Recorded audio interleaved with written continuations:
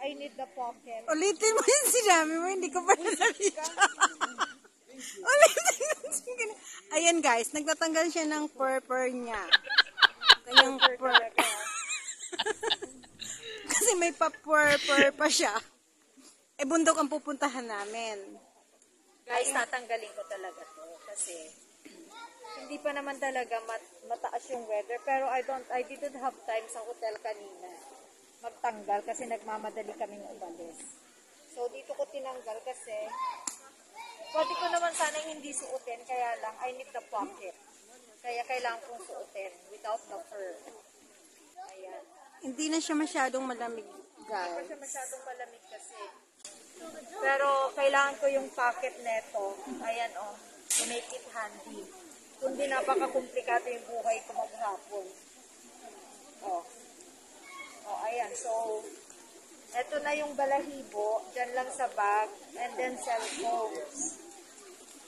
Oh. Okay na, tara na. Wait lang, wait lang. Ano? Ito guys ang paligid niya, oh. Tingnan mo, oh. Ang ganda, di ba? Tapos malamig ang panahon. Malamig ang weather. Masarap tumira dito. Ang dami-daming tourists, local tourists and foreign tourists like us. Ayan. Ah, ito si Lady Tripper.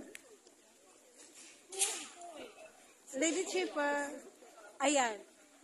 Nood kayo ng vlog ko ah. Hindi naman sa iyo ko naman to isisend eh. Ikaw ang mag-aano eh. Hindi naman, hindi, hindi naman ako mag-aano ba vlog eh. Tripper. Ayan. Ayan. hindi ko Hindi si marunong. Lady Tripper, Lydia Tripper. Shy ako eh, shy. Oh, yan. Oh, nagre-record siya. Okay. Ah, Sige, mag, magsalita ka. Dala. Sana tayo? Aakyat tayo doon? We want, eh, check lang natin what's in there. Nandito na tayo. Okay. Sige. Stop ko na. Bye-bye.